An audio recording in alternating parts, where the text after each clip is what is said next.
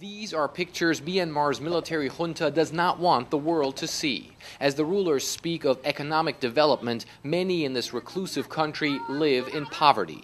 These women say their families get by on less than $2 a day. They say the government has never done anything for them, but they still felt pressured before the vote. We have to do what the government says, she tells us, otherwise, they might kick us off this land. As people like these try to get by, living amid dirt and trash, Myanmar state television showed the country's military ruler, the General Than Shwe, getting out of a flashy luxury car to cast his vote in an election many in the international community are calling a sham.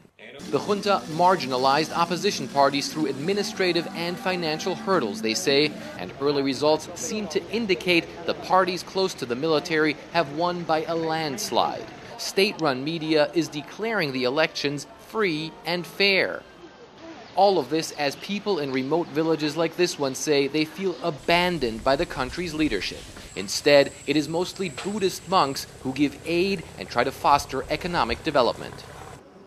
In 2007, the military brutally crushed an uprising by the respected religious leaders, and so we're hiding the identity of this monk who tells us, in spite of the flaws in the process, about 60% of the villagers here went to the polls.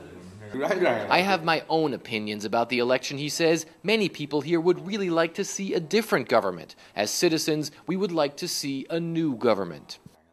The situation remains tense in eastern Myanmar after fighting erupted a day after the vote that caused tens of thousands to flee to neighboring Thailand.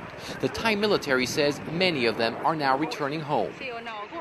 The rest of the country appears calm, as the women in this makeshift hut outside Yangon told us they worry about survival, not about politics.